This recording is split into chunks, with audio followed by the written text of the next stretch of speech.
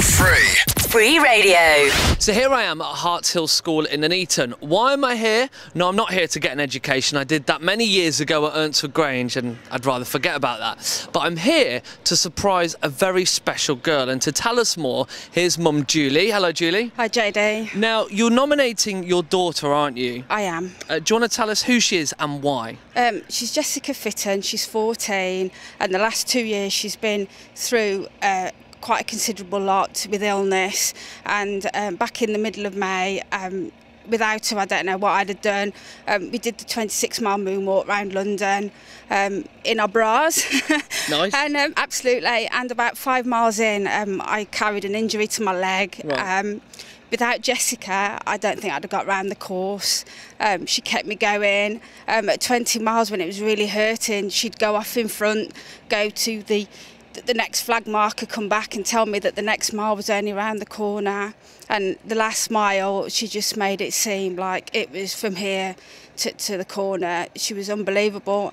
Um, and without her, I don't think I'd have got round. And at three in the morning, when we're freezing cold and my leg was throbbing, her smile, her sense of humour, and her character was just unbelievable. Now, you say that she's had illnesses and she's Yeah. had a bit of a tough time. Do you want to explain what's gone on? Um, Uh, she was 12. Um, she was a really active swimmer, loved doing active sports at school, um, never had a day off. Um, all of a sudden took poorly, um, thought nothing of it, thought viral infection.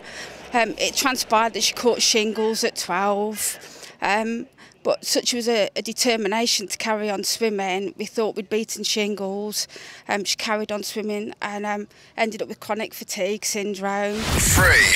Free Radio. She knows how hard it is to go through things and she helps me through everything that I need to help with. So And a good yeah. friend? Very good friend. Now, we're going to surprise her today. You tell me she's a big Coventry Blaze fan. She is indeed. Now we've got Scorch and Matt Soderstrom from the She's gonna Blaze who are going to surprise her during class. How do you think she'll react? react. I think she's gonna kill us.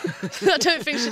I think she'll find it funny, but then she's gonna kill us in the end. Do you think it'll be a good surprise though? I think she's gonna, yeah, absolutely. And after everything, I think I, I couldn't think of a better way just to tell her how much we love her and we think she's amazing and she's so special. And just to keep going. All right, well let's And go she's to the an class. inspiration. She is, yeah, you're right. And, and, and the, just want to explain what this medal Yeah, is. Yeah, this is the medal that she got for completing the 26.2 miles. And if she hadn't have been for me, she'd have done it in well under seven hours.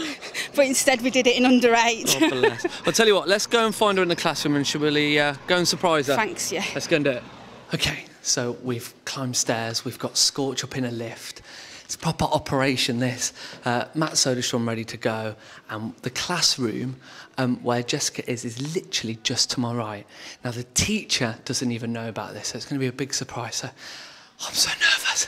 So we're going to run in, announce what we're going to do, get Jessica up, and then surprise them with these two and her little JD Heroes gift. So fingers crossed it all goes well. Hello, sorry to bother. Um, is Jessica Fitton here? Jessica, where are you? Jessica, where is she? Is this you? Come here, Jess. Come here. Don't be scared. You all right? Yeah. I don't know if you know who I am. Yeah. Um, I'm JD from the JD Show on Free Radio. Everybody's looking at me really scared and worried, and I'm shaking as well. Um, we do a thing on the JD Show every Wednesday called JD's Heroes, where basically people nominate somebody that they know who's really special and who's amazing to receive a little surprise for being a JD hero.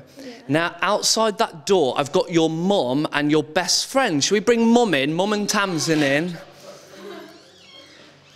Sorry, I, there's nothing worse than your mom doing something like this. Hi, mom. Hi, Tamsin. Everybody say hello, mom. Hi, Tamsin. Go on, say hello. Don't be scared. Hi, hi. Would you like to stand here with me? Oh dear. Now, your mum has nominated you um, to be a JD hero um, because of what you've been through. Now, I'm not sure if the class are aware, but you know, Jess has had to put with um, some bad illnesses. Um, and recently, you did the moonwalk. Yeah. Do you want to explain what that was? Um, I walked 26 miles around London in the middle of the night. Wow, apparently in bras as well. Yeah. Crazy. Uh, and what was that for? Um, it raises money for breast cancer. And how much money did you raise? About About 250 pounds. Come on, you're classmates. Give her a round of applause. Also, you've been ill, and I know that obviously before you were ill, you were really into swimming. You were quite athletic. You know, you were doing a lot. Um, how did the illness affect you? Um, I was off swimming for a really long time, and that.